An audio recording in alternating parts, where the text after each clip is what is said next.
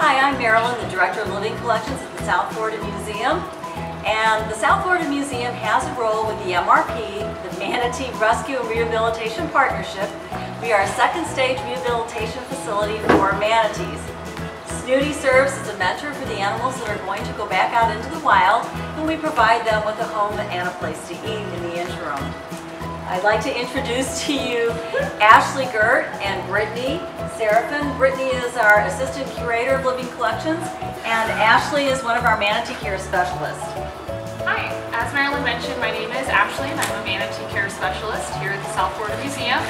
We thought what better way to celebrate Endangered Species Day than to talk about our favorite endangered animal, the Florida manatee. We are fortunate enough to be home to Snooty, this manatee right here. Snooty is the oldest manatee in captivity and arguably the oldest manatee in the world.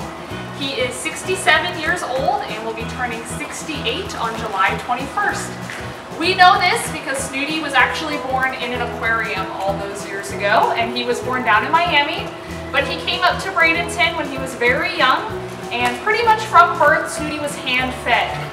He made an association between food and people, and this is the real reason why Snooty was never released. If Snooty was released, the idea was he would probably look for us rather than find food on his own, and this would greatly increase his chance of being hit by a boat.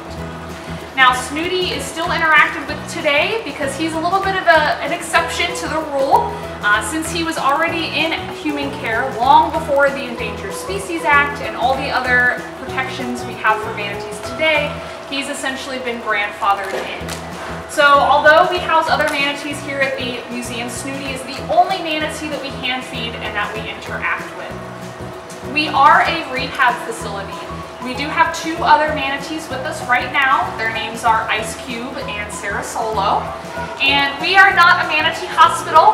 We are where manatees go when they are healthy enough to leave the hospital, but they can't quite yet be released into the wild. And so we house them until they are ready to do so. Uh, manatees, while they are here, we are feeding them things that you and I would possibly eat. And this is because manatees are herbivores. So they eat nothing but plants. And while they're here, we are feeding them lots of romaine lettuce. We are also feeding our rehab manatees kale, carrots, and potatoes. And these four food items mimic uh, the nutrition of wild plants. Now, of course, the manatees go back out into the wild. They're not going to be eating kale and lettuce. What they are looking for is seagrass predominantly. Although manatees really aren't that picky, um, they do have to eat a lot every day. Uh, just to give you an idea, Snooty here eats about 100 pounds of food every day. And that being said, they, uh, they are not very picky about the plants that they eat. Seagrass is their staple though, that's what they are really designed to eat. And this is why manatees are often found in very shallow water. Just like plants on land, uh, plants in the water need sun in order to grow, and so they only grow in very shallow water where there is enough sunlight to get down to them.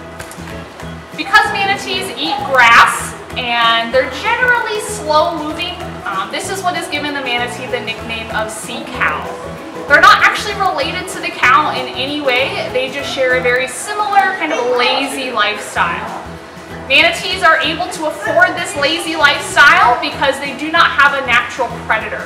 So manatees can live in fresh or salt water, um, and they will encounter both alligators and sharks, but as far as we know, neither of those animals actually prey on the manatee. We think part of the reason for that is because manatees can be huge. Uh, just to give you an idea, Snooty here is almost 10 feet long and he weighs about 1,100 pounds. Now this is a big animal, but actually girl manatees can be much larger. Uh, they can be 14 feet long and weigh over 3,000 pounds. So this is a very big animal and it would be very difficult for a shark or an alligator to prey upon the manatee.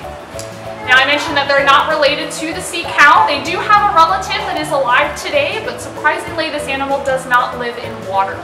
The closest relative to the manatee is actually the elephant. And they do still share some similarities with the elephant, as in they're both big and gray, and they do have some similar skin to an elephant. It is a little bit wrinkly, and they have tiny hairs dotted all over their body. You can sometimes see that as little dots when their body breaks the surface of the water. Now manatees also have little flipper nails like an elephant's foot. Um, but one of the things that you know may be seen as the most common thing they have with the elephant is they do have a little bit of an elephant's trunk. It's just very, very short.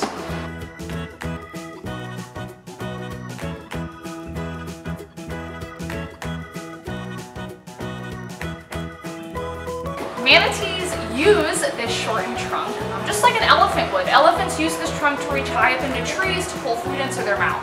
Now manatees do not need to reach high up into trees, but they do sometimes like to feed on the surface of the water. So this trunk, they use it by uh, flaring it open, they actually pull food into their mouth. Now, on this trunk, they have lots of little whiskers. We call these vibrissae, and they are very, very sensitive. Just to give you an idea of how many the manatee has, we talked about those little sensory hairs that they have all over their body. Uh, the manatee has about, oh, here comes Snooty. Manatees have about 5,000 of these sensory hairs all over their body, and about 2,000 of these hairs are just on their face.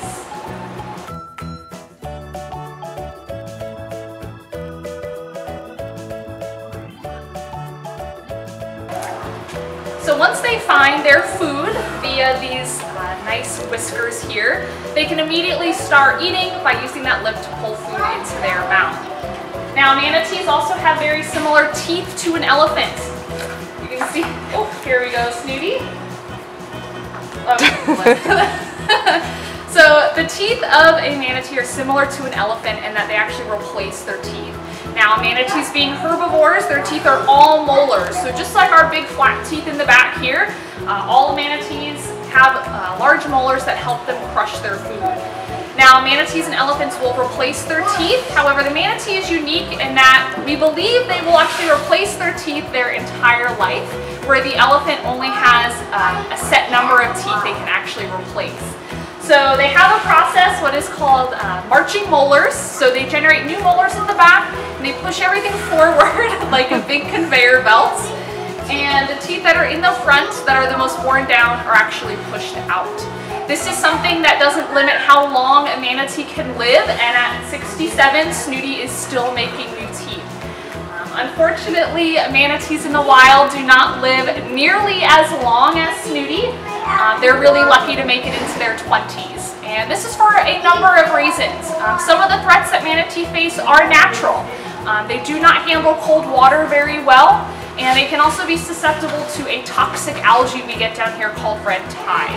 Now, of course, manatees usually are associated with boats. If you see a manatee in the wild, it will most likely have a scar on it. Um, scientists now believe that about 80% of manatees that inhabit our waters do have a scar on them. Um, unfortunately, not every animal is lucky enough to survive being hit by a boat. Uh, the good news is manatees are doing much better now as a population than they were 30 or 40 years ago. And part of that uh, is due to all of the protections and all of the research and all of the rehabilitation that has been in place for those uh, 30 or 40 years. Hopefully, one day wild manatees will live as long as our friend Snooty here. So, thank you for watching and happy Endangered Species Day.